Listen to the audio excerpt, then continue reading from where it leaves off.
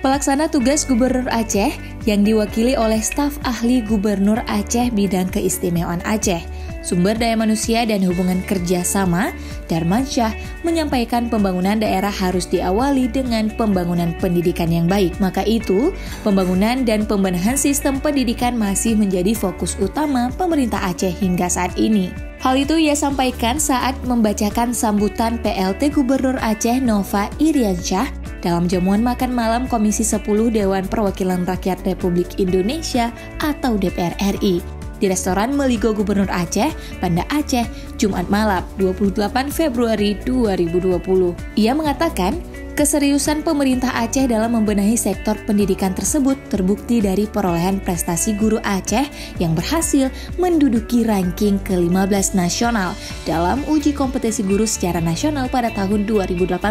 Sebelumnya, pada uji kompetensi guru secara nasional di tahun 2017, Aceh hanya mampu menduduki ranking ke-34. Namun seiring pemenahan yang dilakukan, Aceh kini berhasil merangkak naik. Selain pendidikan, upaya pembenahan dan penguatan pada sektor pariwisata juga terus dilakukan, sehingga membawa Provinsi Aceh terpilih menjadi World Best Halal Cultural Destination – dengan predikat tersebut, Aceh siap mendukung langkah pemerintah untuk memperoleh peringkat terbaik dalam Global Muslim Travel Index atau GMTI 2020, ujarnya.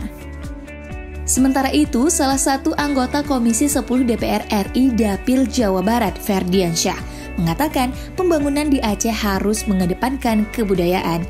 Budaya, kata Ferdiansyah, sangatlah efektif dalam menyelesaikan berbagai permasalahan sosial. Aceh sebagai provinsi yang notabene masyarakatnya beragama muslim harus membudayakan Islam yang benar dan tidak keluar dari konteks NKRI. Oleh karena itu, budaya positif yang berdekatan dengan kehidupan sehari-hari masyarakat harus menjadi jati diri masyarakat.